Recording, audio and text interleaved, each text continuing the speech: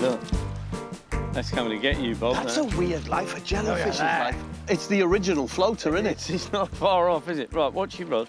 Will he bite you or poison you or something? Well, he might give you a little sting. He won't bite you. Don't know how sentient They have got are. teeth. They have got teeth. Oh, I thought they stung you. Bob, Bob, Bob, Bob, Bob, Bob, go! Now go and wind that in. Come on, come on, come on, run! Wind it, wind it, don't strike, wind it, wind it. You got one. Yes! You go down to the shore, Paul, will you? you want me to attack the jelly, wrestle the jelly? It's an eel! It's an eel! Oh no, not an eel. You get the Oh. eel. Look, look at these two elemental life forces here. Look, Look, eel and jellyfish. bloody great big jellyfish. Put them in a bucket.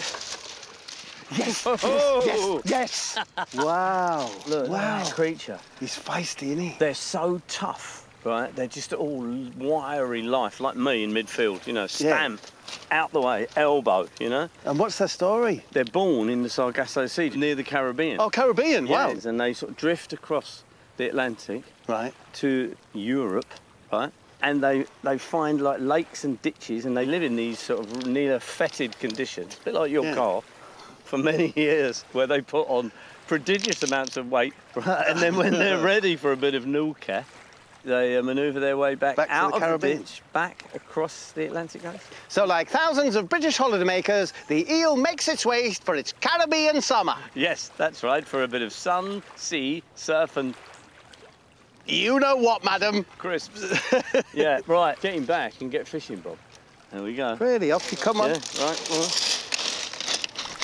Oh, he looks pretty in the Look, look, look, look. And, And away. Wow. Off back to the Caribbean Yeah, for well, rum and reggae. Yeah, but he doesn't need to, does he? He could just stay here. Bob, you don't seem very happy. What's the matter? Huh? You don't. You seem a bit down. Yeah, I'm a bit down actually. yeah. What about if they liked or subscribed to uh, Bob and Paul's YouTube channel? Would that cheer you up a bit?